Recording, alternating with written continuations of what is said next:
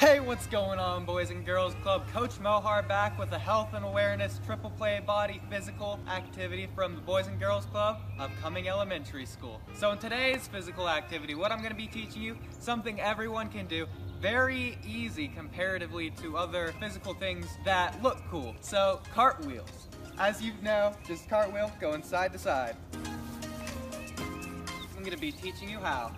So in order to first do a cartwheel, of course you're gonna need flat ground. So looking around, you can see this is a fairly flat surface. You should probably practice on a soft surface as well, so no cement or anything, just grass, something that I'm practicing on. And what you're gonna wanna do is you're gonna wanna see if you're left-handed or right-handed. So if you're left-handed, you're going to want to start on your left hand.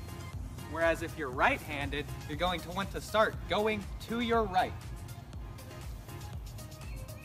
So in order to first do a cartwheel, you have to have a lot of momentum going into it. You can't just kind of creak into it, sneak into it going slow. You have to really kind of jump into it. But instead of jumping, it's almost like a crouch.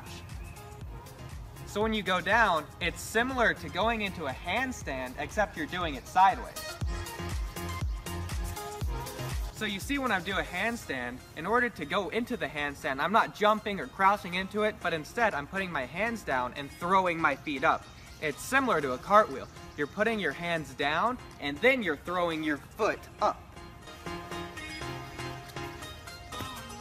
And when your foot is being thrown up, that momentum will carry the cartwheel, allowing your whole body to turn all the way back over so that you can land on your feet.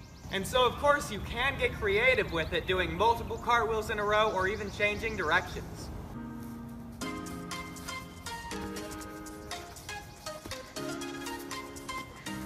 And then you can start looking even more like a gymnast by incorporating some kind of flips or any kind of tricks into it. So even just going from sideways to landing forward or backwards.